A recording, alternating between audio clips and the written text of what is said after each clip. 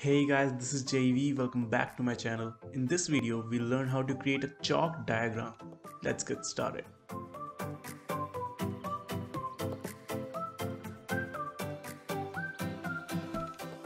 Now we have our blackboard texture here. Let's add our image on top of it.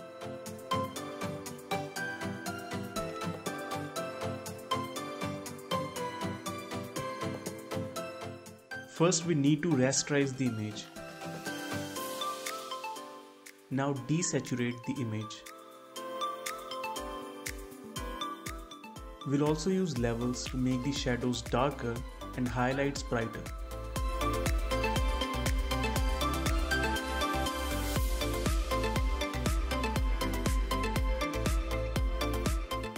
Once you are done, use the Find Edges filter. And then invert the image.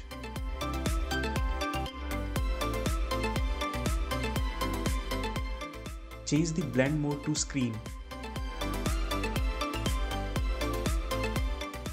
Now add a layer mask and using the black brush hide all the unwanted parts.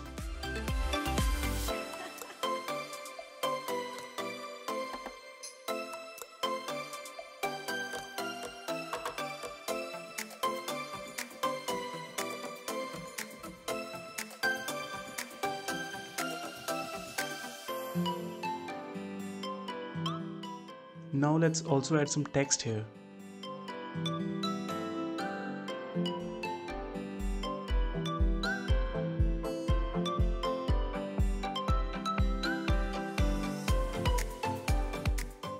Now double click on the text layer to open blending options. Move the slider for the underlying layer. Hold Alt to break up the slider for a more seamless transition and that's pretty much it. I hope you guys like this video. Please like the video and share your thoughts in the comments. And if you're new to the channel, make sure to hit the subscribe button.